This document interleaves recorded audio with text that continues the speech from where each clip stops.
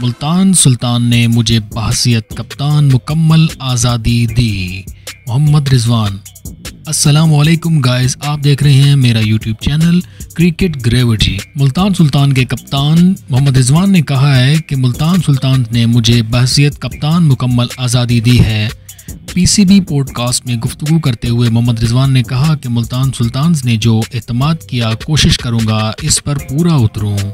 उन्होंने मजीद कहा कि इब्तदाई पी एस एल एडिशन में मुझे मैचेस नहीं मिले, जिसका बड़ा नुकसान हुआ है।